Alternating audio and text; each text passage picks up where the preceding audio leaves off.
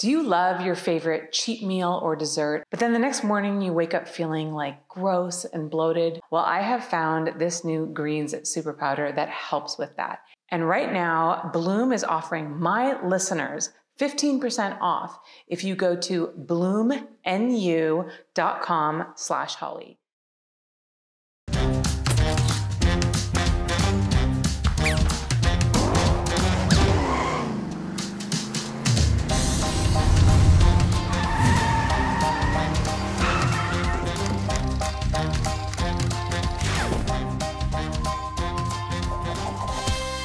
Welcome back to Holly Randall Unfiltered. Before I introduce my guest, I want to give a quick shout out to my sponsors, Like a Kitten. If you want to spice up your sex life with a custom curated box made just for you with your choice of sex toys, lingerie, and games, go to likeakitten.com slash holly to get 20% off your first box. All right, so let's introduce my guest. She is the epitome of a badass woman. She is a femdom fetish porn producer and model. She is in a polyandry, total power exchange relationship with multiple submissive partners, and she's a mother of twins. Welcome to the show, all the way from Romania, the matriarch Ezada Sinn. Hi, Izada, how are you? Hello, Holly. Oh, very nervous. I'm a big fan of your show. I'm watching you for years, I think, from wow. almost the beginning. That's and amazing. Now I'm here. So you're here. yes. That is, oh my gosh, that is so great. Well, thank you so much. That's a wonderful compliment. And we kind of were talking a little bit before the show. I like, I know people watch the show because I see the numbers, but I still like uh, there's still like a disconnect in my head where I'm like, people don't really watch this show. Like some I don't know, I'm always surprised when people say that they're a listener. It just it never fails to shock me. So so thank you for that. Um so I want to talk about this word polyandry because that threw me. I had actually never I thought it was a typo and it was polyamory, but it is not. So you're going to teach me a new vocabulary word, which is so exciting because I mean, I thought I knew everything, but obviously not. So what does polyandry mean? Well, it comes from poly, multiple, mm-hmm. and andros, which means men, so multiple men. Uh, polyamory, it means multiple partners. Mm-hmm. Polygamy, mm-hmm. it means multiple wives. So polyandry means multiple husbands because in my relationships, I am the only one. My partners are monogamous to me, but I have several partners. You so, know, it's kind of indicative of the patriarchal society that we live in. Sorry, guys, that I didn't know that word, that I had never heard that word before. And I know polyamory and I know like polygamy, but like polyandry, where there's multiple male partners, um, monogamous to one woman, was a word I'd never come across before, which is crazy. So, um, obviously, uh, you have a unique story to tell. Unfortunately, is not that common. And um, outside the fetish world, there are several very small um, places where women do take more husbands. Usually, basically, they live in matriarchal societies, one way or another but usually I suppose is not very uh, common. So it's easy not to find out about it unless you are really interested in it. Right. So tell us about how you got started in the industry and how everything led to the place that you are now with your multiple male partners. All right. So I'm coming from the lifestyle. That means before I was making a business out of my passion, I was doing it just because I liked it. Um, that means femdom and BDSM to be more specific.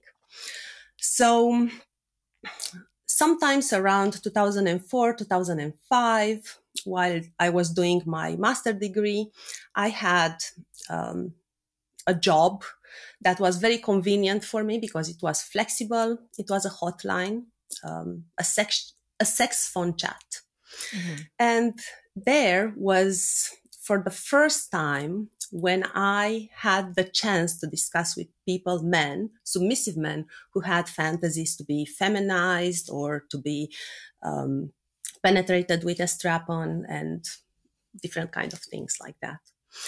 And um, I was intrigued. And I remember with some of them, I did something which was not really, um, I was not allowed, but I gave them my private phone number so I could chat with them because it was so interesting. Now, with all the experience that I have, I know for a fact that they were just saying fantasies. There was one of them, I was fascinated. He was telling me how the wife would take him to a vacation where nobody will know them and will force him to wear high heels and corsets. And it, basically the feminization fantasy, forced feminization fantasy. And I was like, wow, this is exactly what I want. Tell me more. And uh, finally, I started to look over the internet and I found some websites, message boards. I started to discuss with more people. And after a year or so, just talking with people because I was too afraid to meet one of those perverts. Mm-hmm. I um, finally got the courage to meet someone and um, I started to just meet people for um, femdom sex just mm-hmm. just for the pleasure of it which usually do not actually um, it's not about sexual penetration of course lots of sexual activities but not the vanilla mainstream sex more like mm-hmm. right like my feet kiss my boots and things right. like that which in my opinion is also sex because mm-hmm. it gives me sexual pleasure and then yeah but it's not like what's we what most of us in society like um the, our definition of sex which is basically vaginal penetration um, with a penis which you know or, i've learned from doing this yeah or yeah other places.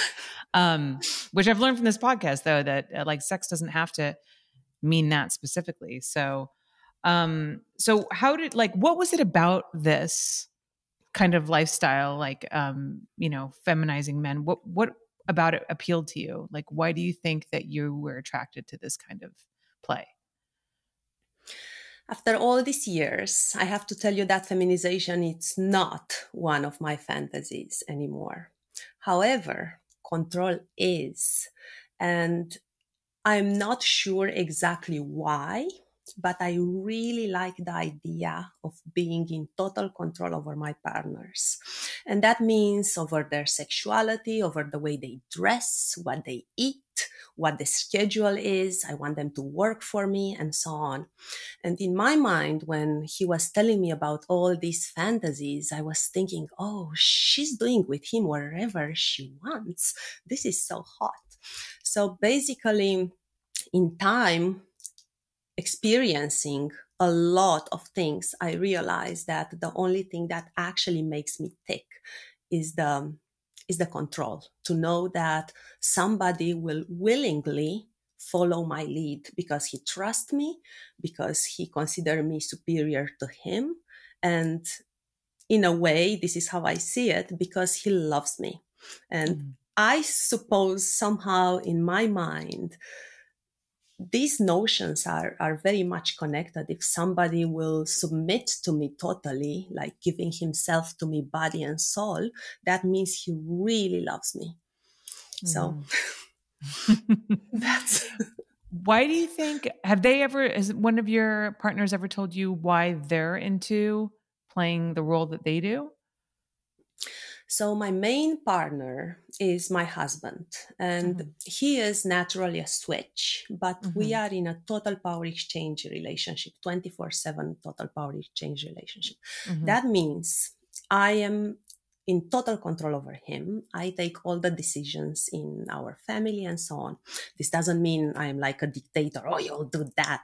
Mm-hmm. It's not that. It's mm-hmm. more like a traditional patriarchal couple where the roles are switched.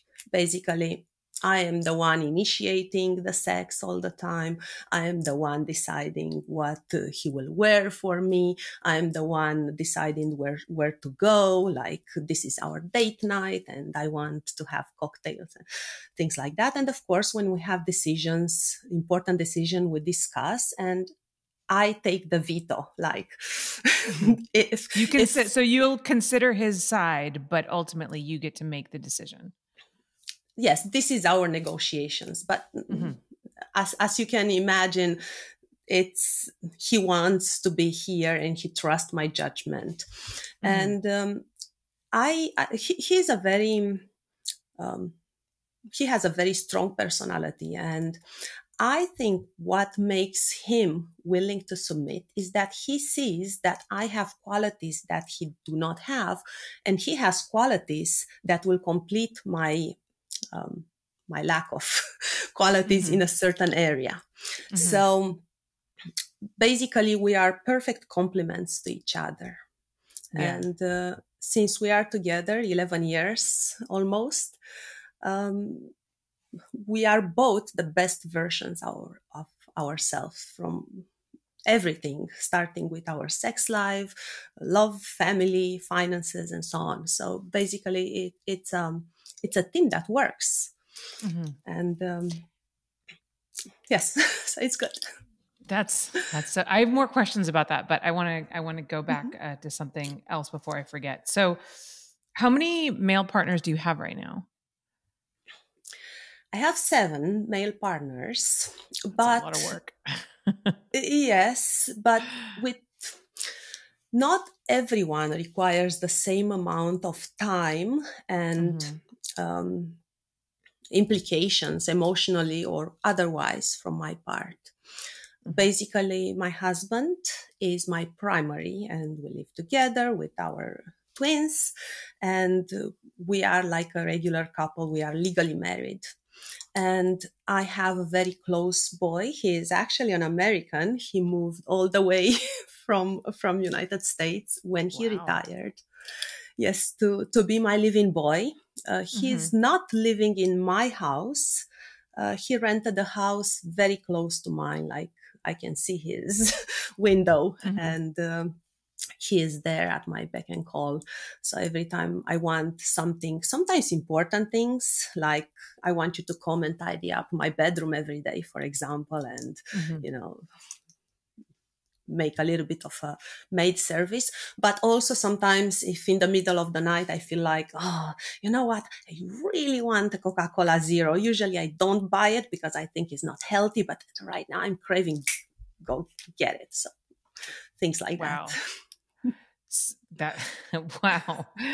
Um so i no obviously i'm sure you don't take everybody who applies right? So what do you like how do you decide what male partners you will take on? Do they have to apply? Do they have to like fill anything out? And like what what qualities do they have to have that you'll consider them?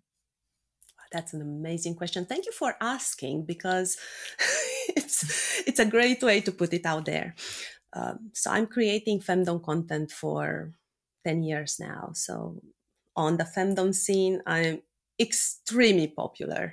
If I mm-hmm. would take in consideration every man who would like to serve me in one capacity or another, I would go crazy. I would have no time for anything. There would be 1000 ezada needed for that. So mm-hmm.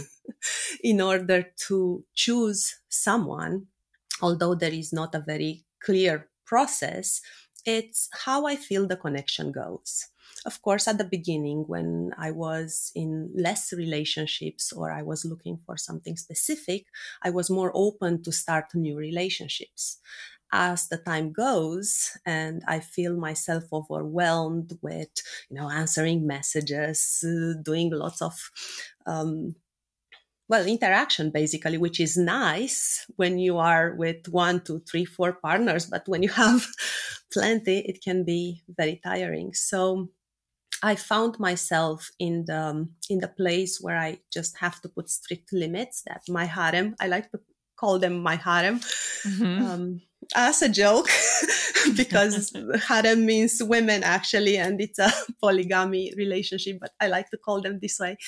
So um, the thing is, when I was still looking for something like, oh, you know what, I really like a boy who is this and that, very open to do this kind of fetish. So I would, I would look through the ones that I'm in contact with, maybe 100 boys, and I will see which one will fit the best the criteria, and I will start to develop a relationship from there.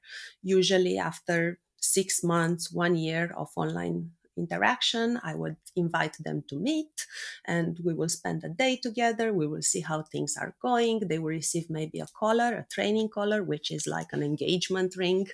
Mm-hmm. And uh, from there, the relationship will be negotiated more and more. Like, um, right now from the all seven partners that i have i am in the process of having another move in with me well in, Bucharest, Romania. He is from England, mm-hmm. and uh, it, it's a process. We are talking about it for several years, and he needs to change the job. He, it's difficult to find a job in Romania. I will probably hire him, but you know, it's a lot to consider. Mm-hmm. So, the, when you said move yes. in with you, but you don't mean into your house, you just mean into your country? Um, I mean into my yes, not into my house, mm-hmm. my basic fantasy. Your world. My world. I, I live in a gated community actually, mm-hmm. and there are plenty of houses that can be used for this purpose. Mm-hmm. And um, yes, I want them to move near me, but not in the same house with me. God, wouldn't that be amazing if you had a gated community and every house in there was like one of your man one of like your male part, like one of your male slaves, and it was just a gated community, it was just filled with men who served you. That feels like a show or something, or a movie or something like that. Actually, this is one of my wildest fantasies. And I have to tell you that I was thinking about it. Like in Romania land, land, it's still quite affordable. So I was mm-hmm. thinking mm-hmm. maybe to buy a very big plot of land and make like a adult only femdom village where people can come in vacations. Well, I will live there all the time, of course. Uh, yeah. When the kids will grow and leave home. Yeah. And uh, people will come and will live for one weekend or one week or two weeks in total power exchange femdom relationships where women can actually walk men on the leash on the street naked or in just a tutu or just a chastity or or something like that so this is a, a wild dream that i have but i no. do not I think you say it. Huh? I think it needs to happen. I'm like picturing this now, and this sounds fucking amazing. Like how fun would that be? That would be that would be so cool. Like a trip to Romania. It's like such a romantic country and and then it's just this whole like I I feel like I feel like people would do I feel like that would sell. That I think when you're ready, you have an investor. All right. when you're ready for this. Will you come? Because I know you've said it many times in your in your shows that usually your fantasies are more towards submissive fantasies. Yes. But I, oh, I you know, I'll come and I'll observe. I'll I'll do I'll shoot. I'll come as a journalist. I'll do some interviews. I'll document it. That sounds amazing. Uh, that sounds really cool. I, I have a theory where in femdom, because it's such a vast buffet of activities, I think everyone, no matter if it's men or women, dominant, submissive, doesn't matter, there is something that can enjoy in, in femdom. This is what I think. Yeah. yes. Yeah. I mean, God, talk about opening doors. That would be so cool. So um, at one point, you were let go from a job when they found out about your kinks. Uh, can you tell us a little bit about that? And was that the first time that you felt the stigma of sex work?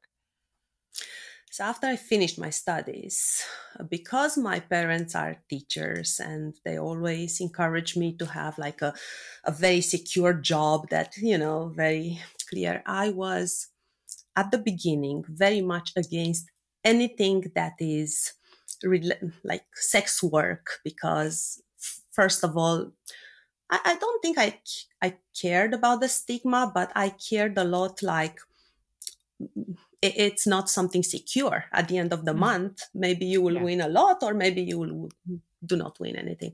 So yes. because of that, I was naively very open with my sexuality. I had a blog where I was share op- opinions about that. I would go to different uh, sex clubs when I traveled and I, I wrote about my experiences there, femdom experiences. So I was really naughty putting pictures around. So that's it. And at some point, it was, um, I think in 2009, it was when the, um, um the market crashed and uh, lots of people were let go and I was let go. And at first I thought I'm not good enough. Out of the whole team, I was the worst to mm-hmm. let me go. And uh, a, a, colleague told me that, oh, don't be upset because actually I will tell you the, because they found out about your website and um, all your kings, and this would not be good for the uh, image of the company, which I completely understand.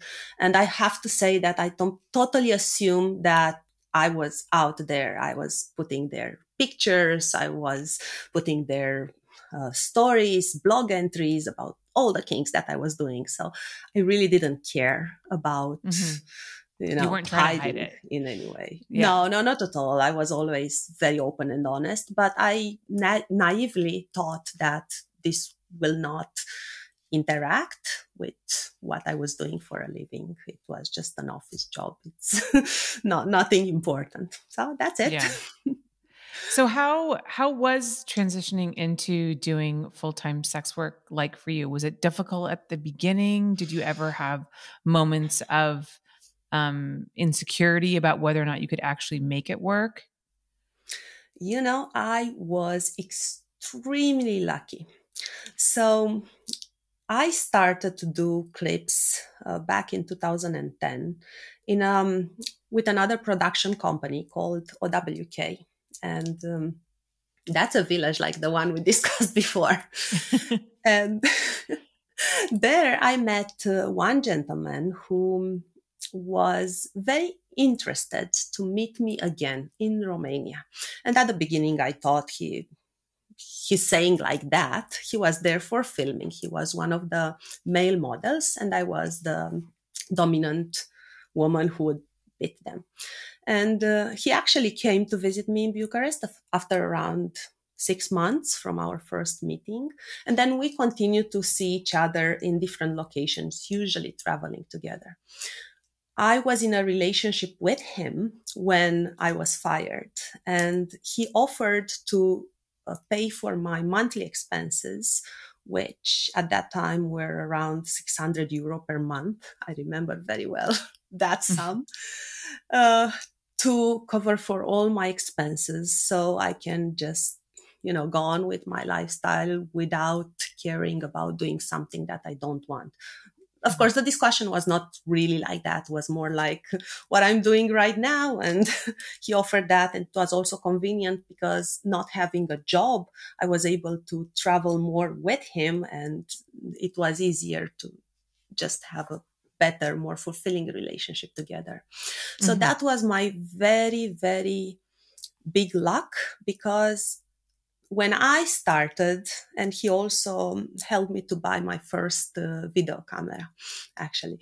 So when I started, I was very lucky to have this financial security, which would cover for my expenses then. And I never had to do anything that I didn't want to do, or I was like, uh, I don't know if I want to do this, and so on. And um, at around the same time, I started my relationship a little bit after my relationship with my husband. And uh, he was not really into femdom, but very kinky and open minded. Not enough experiences uh, in kink, but lots of experiences with himself. so the, the seed was there. And um, we started I was always very much into probably, I think also Medor, my partner who, who helped me uh, after I was fired, he was very much into taking pictures and video of us. And I think he planted that seed.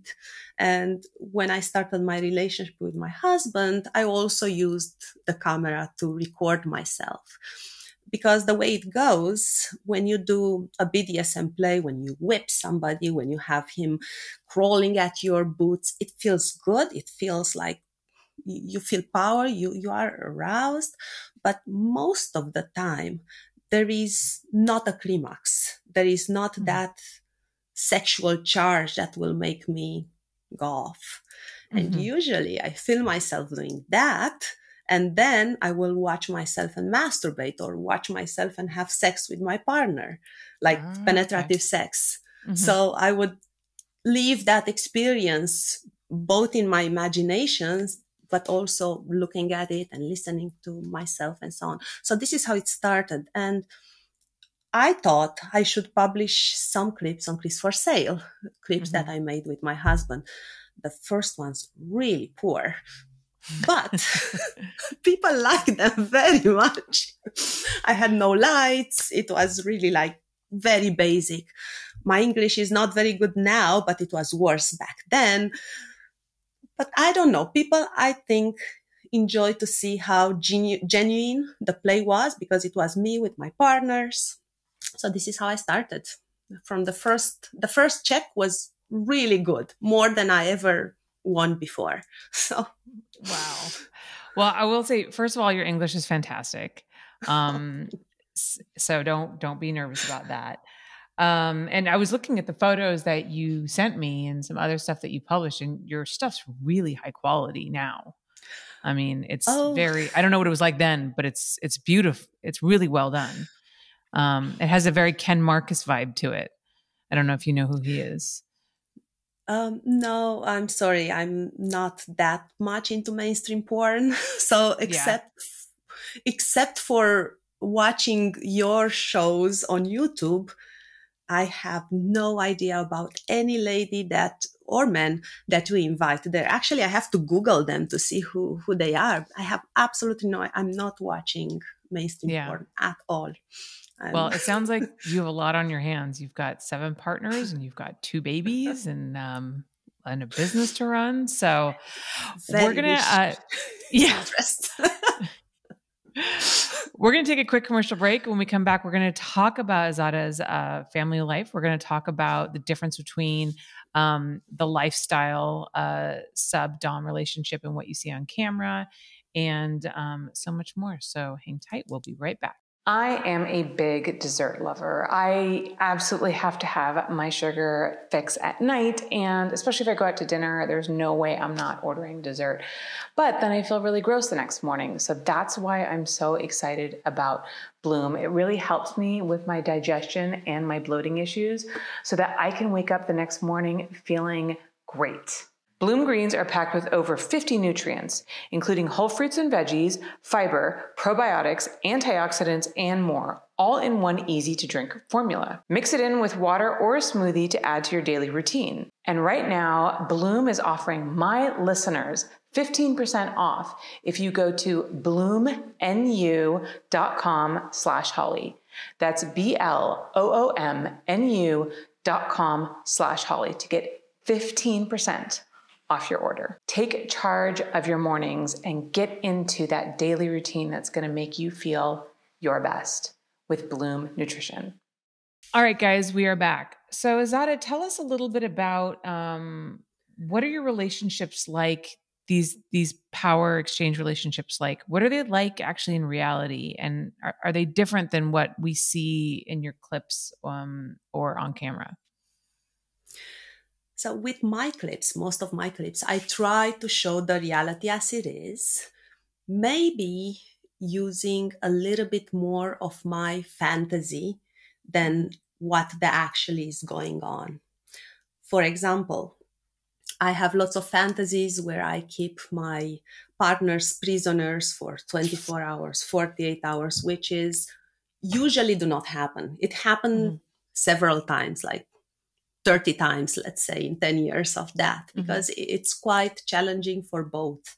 But the fantasy is there, so we can try to imagine that, like putting him for just a couple of hours into the cage. And then when I'm coming back, I can pretend not only for the camera, but also for us, like mm-hmm. what I'm saying, that he was there overnight. So that that it's something that is is different. Also, sometimes I have custom clipped requests, which are more rare now, in which I'm really acting, and sometimes I have to act in ways that I it's not really myself. I don't think I'm a good actress, so I decided most of the time not to take custom requests anymore because it, it's it's I think my style it's quite sensual and mm-hmm. when I have a request where I have to speak dirty and be really mean and I don't think it's me and mm-hmm. I think my success comes from being genuine and to be myself and sometimes doing things which are not classical femdom, but I'm still doing them because this is what I like. And if I like, for sure, there will be some people who would like the same things that I like as well. So what do you I mean try- when you say what do you mean when you say that you do something that's not classical femdom? Like could you give us an example? Yes, I can give you an example. Cuckolding, which is a very big fantasy. And in the cuckold world, most of the time, the hot wife would be attracted to big penises, having sex with multiple partners. She's the party girl doing, you know, lots of things. But I, am not that. I mean, in, in when I was younger, I had several time nightstands or I, I had sex with people that I was not emotionally connected with. But now in my forties, the best sex can be only with my husband because mm-hmm. we trust each other, we love each other. And although we have an open relationship, if I want to have sex with somebody else, I can.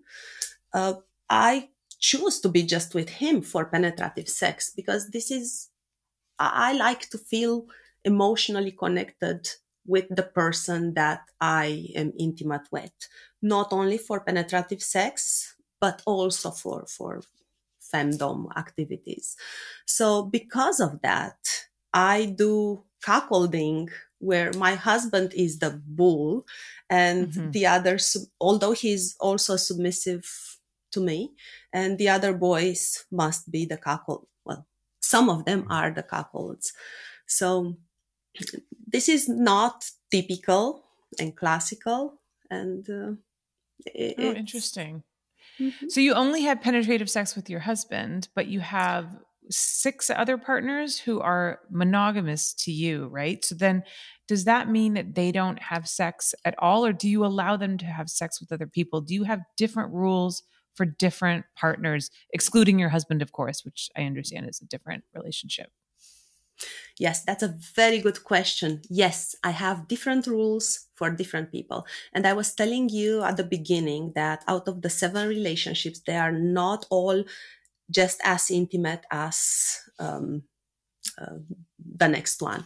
So mm with my husband he's my primary the boy who lives with me uh, next to me actually. Mm-hmm. he is also my partner. Actually i keep him locked in chastity all the time and this is the key from his chastity device. Oh wow. Um, and uh, most of my partners are locked in chastity most of the time and they are not allowed to have um, sex of any kind with anyone. However mm-hmm uh, two of my partners are married and they are allowed, I don't know if they do, but they are allowed to have sex with their wives. Actually, this is a rule that I have. I believe that if a man is in another relationship, I prefer the wife to know. And if she doesn't know, I want her to be treated at least as good as they are treating me because this is the concept of matriarchy. Right. Oh wow, that's so interesting. So do these two partners that are married, do they do their wives know? Uh, yes, one of them is my first partner, Medor, that I was telling you about. I'm in a relationship with him for 12 years, I think. Mm-hmm. And the wife knows. Um, they are rather old. I don't think they they have any sexual intercourse anymore. Mm-hmm. Uh, she knows about me. Actually, they they used to play BDSM uh, at the beginning of their relationship, and then she mm-hmm. decided she, she, is not into it, mm-hmm. and um, allowed him to to go and see dominatrixes. Um, he is allowed most of the time him in particular, uh, when we play, he's allowed to masturbate in front of me. Other mm-hmm. men are allowed to ejaculate. Um, I masturbate them with my hand or with mm-hmm. the use of sexual toys or maybe with a foot job. Um, sometimes with a couple, three, three, four, four of them are allowed to offer me oral services, licking my ass yeah. or, or, my mm-hmm. sanctum. Uh, actually, for the sanctum, only my husband at this moment. I used to have another one, but uh, not anymore. So, yes. so yes, it's very specific. yeah, I mean that's so in- that's so interesting. So, God, I have like so many questions. Um, so okay, so you say that you have them locked in chastity are they actually wearing chastity belts or are we talking more of like a like a mental chastity both um, my of course i like the idea of a, of a chastity device mm-hmm. but mm. i think and over the years having all this experience that actually the only chastity that matters is the mental chastity mm-hmm. basically if I give them permission to touch themselves, if I give them permission to ejaculate, they will. Otherwise, they will not. And it's a trust, of course. I cannot make sure he will, they will not do it. Uh, it it's a trusting. They trust my judgment. They trust that from obtaining uh, and postponing the climax, when they will be allowed, it will be more pleasant, more intense, more meaningful. Mm-hmm. Because sometimes, and I think it happens a lot with men nowadays, because porn it's so widely available and it's so easy to to see it, to just have a masturbation before you go to sleep, to to make that orgasm not to matter anymore. And I think it's mm-hmm. a pity because it can be such an important, amazing um, sensation if you just work for it a bit more. I think. Yeah. Yeah. No, I mean, you know, it's like if you eat cake all the time, then it's just cake. But if you only have cake on your birthday, then it's like very yes. special. So, yes, I understand that. So, do men ever uh, masturbate without your permission? And if they do, do they call you or like tell you and then like they have to be punished? Um, and what are your rules for that? Like, is there a situation where if somebody breaks the rules enough times and you let them go? I will definitely not let go someone just because he masturbated without permission. However, I mean, that is not important. And actually, it, it's a subject that I am very willing to negotiate a lot depending of the person that I am with. And um, for example, uh, my husband is allowed to have once a week one orgasm. And uh, it's like uh, friday it's our date night which is now. And uh, usually i'm ruining your, am i ruining your date night? Oh after i talked with you about all this i'm going downstairs where he's waiting horny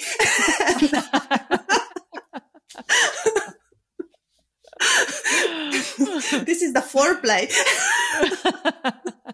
I'm sorry if this is not consensual for you, but in my mind, I have lots of non-consensual. Are you kidding me? This is great. This is great. I've never been the foreplay to somebody else's session. So this is awesome. I love it.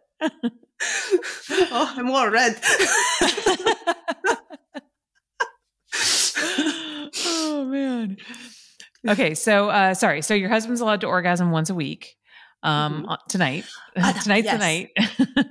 Maybe. And well, maybe I, you are the boss. So um, yes, exactly. He he. I have a rule. He he must make me climax at least ten times before he will be allowed to have an, an orgasm, and there will be a ruined orgasm most of the time. So wait, ten times in one night, or just like over the span of the week? Oh, that doesn't matter. It can be one night. He's really good.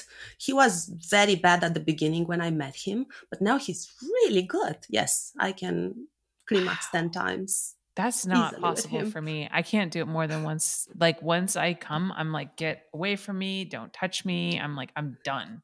Like there is not a second one. There's definitely not a 10th one. So that's oh, amazing.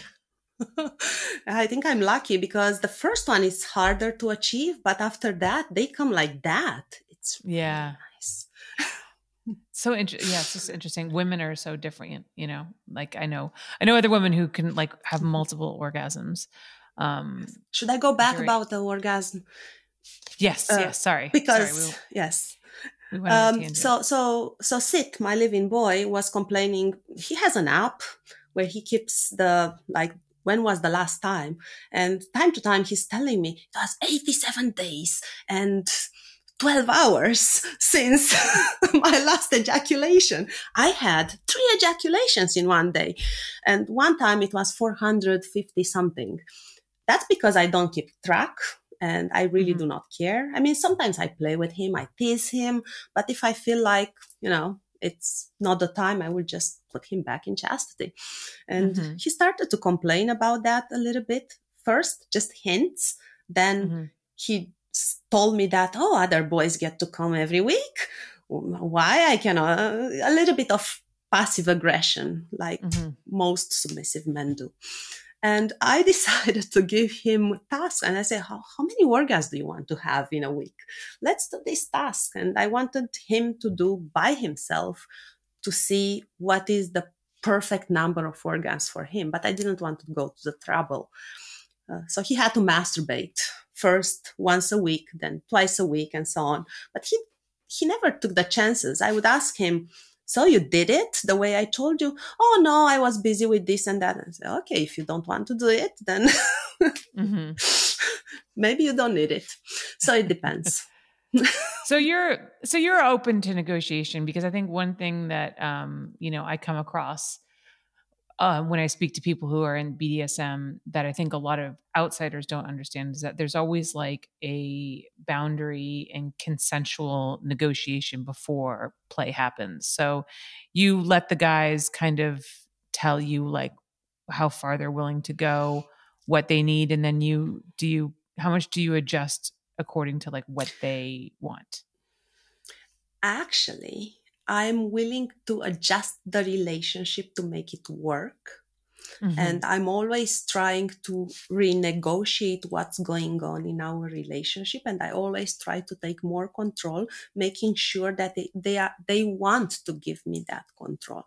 And mm-hmm. I think that's very important. And I think that's why I have so many very successful, very long relationships because I I have rules, of course, but I understand that each person is different. And when I choose to be in a relationship with somebody, I was looking for different personalities, people who can bring me different things in my life, happiness in a different shape and form than the other one, because I don't want to have uh, three similar husbands.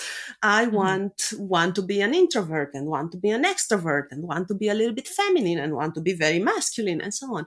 So I appreciate their unicity and I try to make them be the best version of themselves, as happy as they can be, so they can make me happy. But when it comes to play, I'm not willing to negotiate. And actually, with most of my relationships, the ones that are really important and the trust is there and we have our test uh, blood test done. So so basically uh, anything goes. Mm-hmm. i'm expecting that they will tr- they would trust me so much that i have right of life and death over them if, if mm-hmm. you understand what it means. Of course, I want them to be good and I want them to be healthy and I don't want them to be in danger, but I'm expecting if I want something to happen, like I want you to suck my husband dick now. Mm-hmm. He must do it. mm. although that might which not could be, be his which fantasy. could be life and death for some. well, I I test the waters before I will take them there. Right. I, yes, it, it's a question of, of trust. Basically, I want the I, I'm negotiating the relationships, but not so much the play because mm-hmm. it's very important for me to know that they trust me so much, they trust my judgment so much, and they trust that I know about them more than they know about themselves. Because very often with submissive men, that's the case. And I help them discover fantasies and feelings and sensations, which maybe they never thought about it. Yeah. Yeah. That's interesting. God, there's so much psychology um, involved in what you do. It's so fascinating. Um, you recently made a YouTube video about playing mental femdom games. Can you explain maybe one of them to our audience? Mm, I love them. When I started to be interested in BDSM, I was very much about um, physical things, doing this or that activities. But then you understand that it's not so much about the activity itself, but what the person that you are playing with feel about it, how they perceive it, because the same activity can be different from one person to another. Someone who would, let's say, kiss my foot in the middle of the street in front of everyone may feel very shy about it and really humiliated, but other men can feel very, very proud of themselves. Look, I'm, I'm her property. I will do this. So when I do mental games, I'm always, usually they work the best when you know the person very well. So you have to play inside the mind of the person and guide him in the direction that will make him feel in the way you want. Maybe vulnerable, uh, maybe very deeply humiliated, and and so on. Um, I can give you an example, um, but I think there are, I don't know if I have right now because you, you took me by surprise, something that I, I haven't said in the video, but uh, mm-hmm. uh, maybe I can, I can say one of the, um, hmm, I don't think I have another example right now of my hat. No, yeah, no, I think that's, that's, that's good. I mean, um, it's it's you, it seems like you really take time to like cultivate a relationship with these men and and you really get to know them before you ask things of them that might seem like a lot to people right? Yes because i think the value of somebody offering himself to you comes when he will do things that he is not immediately consent to Basically, mm-hmm. if somebody would come to me and say, Oh, I want to kiss your feet. Oh, goddess. Then anybody can kiss my feet. Why should I choose you? You have to prove mm-hmm. yourself to show me that you you are worthy to be there because I can have, I already have very successful, very fulfilling relationships. So if you, if you want to be part of my inner circle, my lifestyle, you really have to give yourself completely. And mm. I feel like I give a lot of myself too in these relationships. So it's just fair to. Yeah. Yeah. It sounds like that. a lot of work. Um, speaking of a lot of work, you're a mother, you have twins. Can I ask how old they are? Yes, they are four years and three months now or four wow. months. Okay. Wow. That. So they are like, they're at that age where they are running Toddlers. amok. And, you know, I, yeah, I, I mean, my girl's a year and a half now. And wow, it is a different story when they can walk. It's funny because I remember when I first found out I was pregnant, part of me was like, oh, I hope it's twins. Cause then, you know, I wanted two and I can get like two over with and then I'm done and I don't have to have any more. And then once I had her, I was like, how do people do it with twins? This is so much work with one. So, first of all, kudos to you for doing having twins. That's crazy. I just I can't even imagine. And then secondly, so um, we've already talked about your relationship with your husband and that he's submissive to you. Um, did your relationship change at all when you had kids when you got pregnant? Amazing question. Yes, yes, our relationship changed a lot. First of all, watching my husband helping me throughout my pregnancy and i had lots of problems during my pregnancy. They were premature and uh, lots of issues. And then watching uh, yeah it happens often with twins unfortunately. Mm-hmm. uh, i'm still scarred emotionally from that but it's what it is.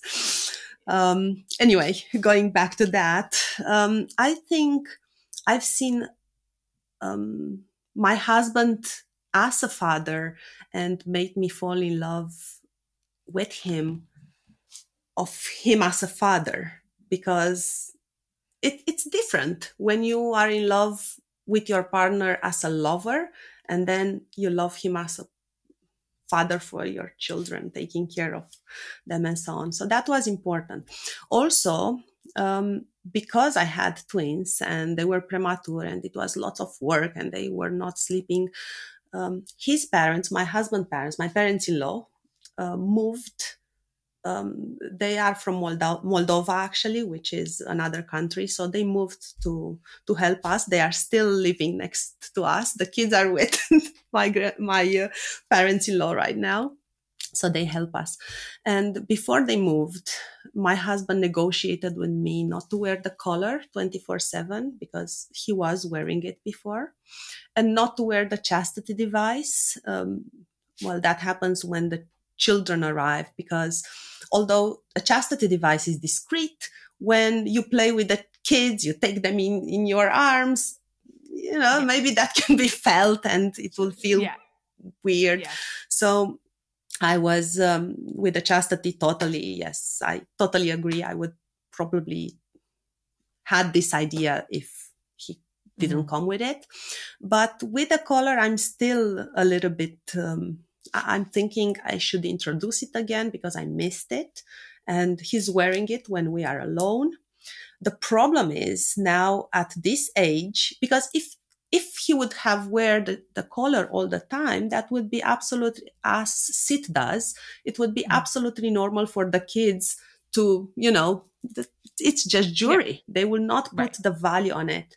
But if now I will make him wear the collar again, the kids are big enough to ask questions which are mm-hmm. difficult mm. to to answer. So my approach is never to lie to them and to be, of course, discreet with my sex life, which is absolutely normal.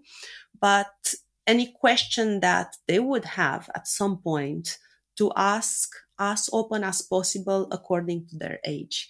So I don't think I would be ever um, I will be able ever to introduce the collar again, at least mm-hmm. not when they are children. But um, that was one thing that was important. And also lots of things are happening in in our lifestyle which i think are good. Um, and i realized how they see everything and they will they are like sponges. And i will give you one example. Uh, in in my household uh, there are several activities that i don't do for example, driving. I know how to drive, but absolutely hate it. And my husband drives all the time. And we have a little electric car for the twins. And the girl, she never wants to drive because mommy does not drive. Only boys drive. And this is not something I really want to teach her. right, right. but she's seeing that. On the other hand, mm-hmm. she knows that uh, mommy does not clean, only boys do. so, so yeah. I don't mind that one. yeah, it's interesting how they they pick up stuff. I mean, I just I've I broke down and bought my daughter like a fake makeup kit because she's always trying to grab my lipstick and my makeup and you know, put it on. So I bought her like a fake one and I was like, here. And she's, just, you know, like fascinated with it. But yeah, you don't, you don't realize it. And it's, it's funny too, because she, my husband, um, you know, he makes like grunts and groans sometimes when he like squats down to pick something up just because like he's got kind of a bad knee and he plays hockey, which puts a lot of like strain on his body. So he'll always be like, oof, or something like that when he picks something up. And she does that now too. She'll pick something up. She's like, oof. I'm like, you're this close to the ground. Like that wasn't that hard to do. it is, it is so funny to see how they pick up everything. It's crazy. yes. So lots of change, lots of things changed. yeah, yeah, I can imagine. So then, um, you said that you have a like your neighbor sub who comes over to help clean and stuff like that. Did they just think he's like a friend of the family? I assume. I mean, they're kind of too yes. young to really ask questions, anyways, about that relationship, right? Yes, I decided that all my partners will be an active part in uh, my twins' life because. Mm-hmm I don't, I want to normalize my mm-hmm. relationships. Mm-hmm. I don't think it's anything, everything that a child will think it's strange is because we as adults present it as such. If That's they so see it around it as normality, then they will never ask questions.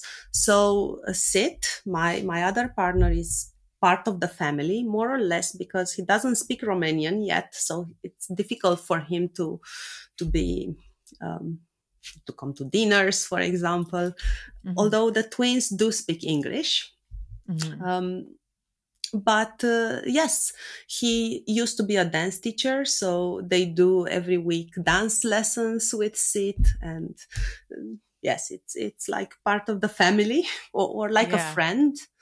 Yeah. Yes. And when they will, if they will start asking questions, it will be the first will be like, he's working for me, which is true mm-hmm. because he does. And when they will grow, like, I will go from there because I, yeah. I think there is a different, basically the, the true, they, I will always tell them the truth, but I think the answer can differ depending of their age because yeah. Right no, now. absolutely. I can tell i mean i can tell you from experience because you know my parents worked in the adult industry and raised you know me and my brother and my sister and they never lied to us but yeah it was it was all about you know learning different things at, at the right age you know and at the beginning it was just you know mom and dad make movies and take pictures for grown-ups and it's for grown-ups it's not for kids and that was you know like i didn't question like well what does that mean? Like what is something for grown you know as a child you're just like okay these are the boundaries.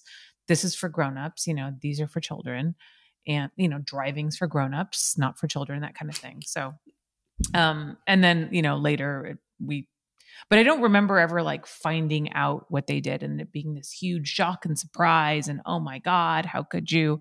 It was just something that I don't know, we always knew or something like that. I, I, I don't remember.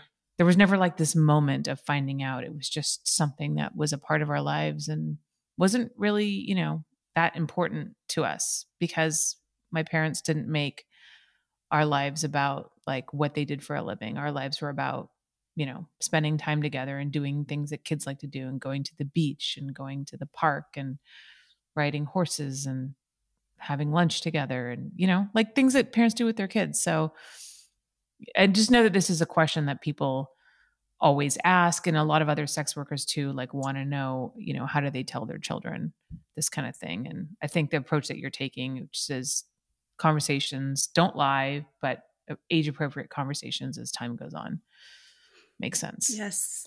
Uh, my biggest fear is that colleagues from school will find out before I will have the chance to actually explain to them more.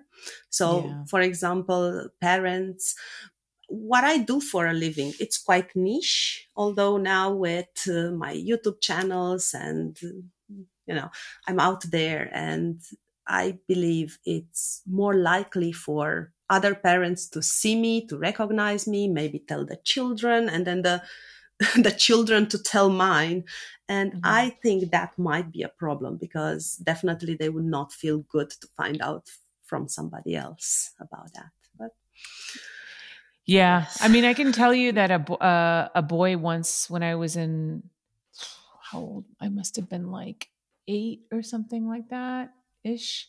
I remember a boy brought a penthouse magazine to school and my mom had a layout in it that she'd shot. And, um, you know, everyone was, there was actually some confusion because he thought that my mom was the model in it, not the woman who took the pictures. But, anyways, um, but I can tell you that, like, it was not a surprise to me. Like, I, I knew that my mom did it at the time. So it was never revealed to me by anybody else. But again, I think just having, you know, that open, honest relationship with them and um, you'll figure it out you know you'll figure it out. What we that's all we can all do. One day at a time. Yes. Exactly. Well Ezada, i don't want to uh, deny your husband his orgasm any longer so and mine. Yes and yours of course. What sorry. But i mean you do get them more frequently than he does so but yes, of course. Um, so I just want to thank you so much for coming on. This has been so interesting. I know that we started talking about um, this interview a long time ago, and I'm so glad that we finally made it happen um, because this has been super fascinating. And so I'm, I'm really appreciative of your time. Thank you. Thank you. It was really amazing. Yes. and then, can you tell everybody where they can find you? Um, I know you've got a YouTube channel um, your social media, uh, all that stuff? Well, I think it's easier if they will just go and visit my YouTube channel, which is talkingmatriarchy.com, or mm-hmm. they will just search Ezada on YouTube. And I think from there, if they really are interested to find out more, then there is the link with all my links and they can find everything there. I'm not on Instagram. There are just lots of scammers pretending they are mm-hmm. me. I'm on Twitter and fairly active. I have one very kinky account, which is popular, and one which is very personal, but it's there. They can find it. So if somebody has any questions or it's out in there. And thank you so much for this opportunity. It was amazing for me to talk about this. Fantastic. Well, I really appreciate you coming on. It's been um, an eye opener for me, and I learned a new word. I learned a new word. Um, I know polyandry. I'm so excited. And of course, you guys can find me at Holly Randall on Instagram and on Twitter. Follow me on TikTok. I'm at Holly Randall Unfiltered. If you want to support this podcast, go to patreon.com slash Holly Randall Unfiltered. Thank you guys so much for watching or listening, and I'll see you next week.